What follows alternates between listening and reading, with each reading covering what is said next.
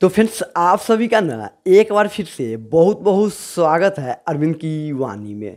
और दोस्तों, आज की इस वीडियो के अंदर मैं आपको बताऊँगा कि अगर आपके फ़ोन पे जब भी किसी का कॉल आएगा ना जी दोस्तों, जब भी किसी का कॉल आएगा, जैसे कि दोस्तों आपके दोस्त का या आपकी गर्लफ्रेंड का या आपके फैमिली के किसी भी सदस्य का तो यहाँ पर ना दोस्तों, आपके स्क्रीन पे यहाँ पे वीडियो चलना स्टार्ट हो जाएगा। जी दोस्तों, आपके फ़ोन पे जब भी किसी का कॉल आता होगा तो सच बता रहे दोस्तों, वही वही साधारण सा यहाँ पे स्क्रीन आता होगा, या ज़्यादा से ज़्यादा आप स्क्रीन पे उस व्यक्ति का फ़ोटो सेट करते होंगे, जो हम यहाँ पे ट्रिक बता दिए थे उस हिसाब से। लेकिन दोस्तों, इस वीडियो को देखने के बाद, इस ट्रिक को सीख लेने के बाद, आपके फ़ोन पर जब भी किसी का कॉल आएगा तो यहाँ पर ना दोस्तों, आपके फ़ोन के स्क्रीन पर उस व्यक्ति का यहाँ पर वीडियो चलना स्टार्ट हो जाएगा। या आप चाहे तो अपने फ़ोन के कोई भी वीडियो सेट कर दीजिएगा, वो फो यहाँ पर फ़ोटो नहीं, बल्कि वीडियो चलना स्टार्ट हो जाएगा जब भी उसका कॉल आएगा तो। और वो वीडियो फुल स्क्रीन में चलेगा, जो कि देखने में दोस्तों काफ़ी ज़्यादा आकर्षक लगेगा, और धोखा से भी दोस्तों आपका दोस्त लोग देख लेगा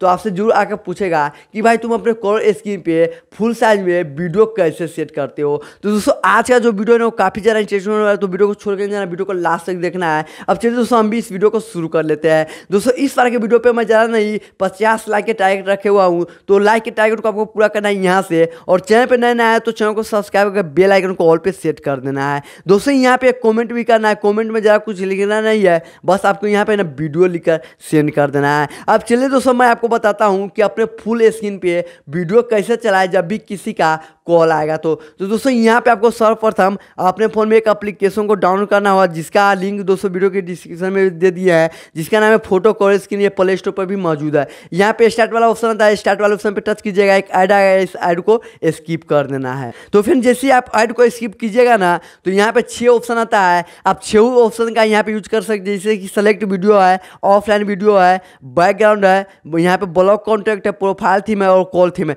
तो सबसे पहले हम कॉल थीम वाले ऑप्शन पे जाते हैं। इसमें से कोई भी एक थीम को सिलेक्ट कर लेते हैं। जैसे कि यही थीम हम यहाँ पे सिलेक्ट कर लिए। अब दोस्तों बैक आ जाएँगे।